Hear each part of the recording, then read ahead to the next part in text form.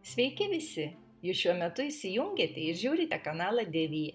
Šiandien mano virtuvėje paprasta, skani ir labai greitai paruošiama silkutė su džiovintais vaisiais, kuri tinka ir kūčių stalui. Tad pasiruoškime produktus ir gaminkime kartu. Pilnas receptas kaip visada video įgoje. Mes šiandien naudosime silkės filė. Silkutę paragaukite, jei silkutė suroka, numirkykite ją pusvalandį pienį.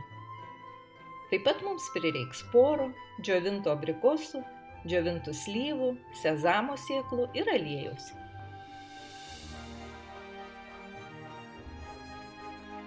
Džiovintus vaisius užpilame vandeniu ir paliekame kelias minutės pamirkti. Susipjaustome plonai žiedais porą. Į keptuvę pilame šaukštą aliejaus, sudedame supjaustytą porą ir pakepinsime kelias minutės, kad suminkštėtų. Kol poras kepinasi, nupilsime vandenį nuo vaisių ir susipjaustysime šiaudeliais. Taip pat turime laiko ir susipjaustyti silkės filė.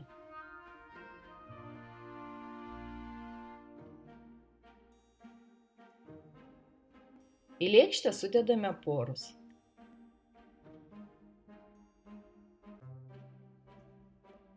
Ant viršaus sudėliojame silkę.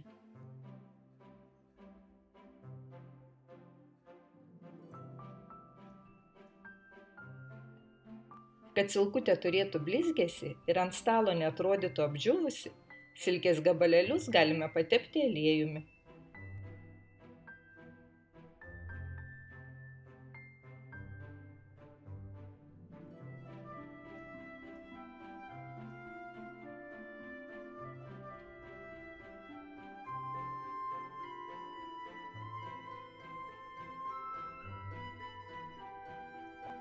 Ant silkutės uždėsime džiovintus abrikosus ir slyvas.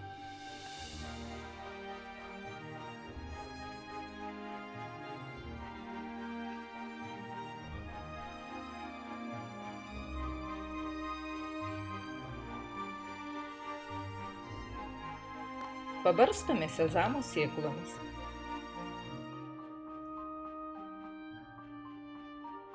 Puošiame pagal poreikį. Galima panaudoti vairių salotų lapelius. Štai ir viskas. Mėgaukitės. Noriu padėkoti visiems, kurie surado laiko pabūti kartu.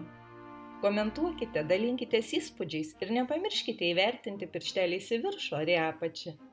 Na, o rytoj pas mus netradicinė grybų užkandėlė. Visiems geros nuotaikos ir iki pasimatymo rytoj. Iki iki.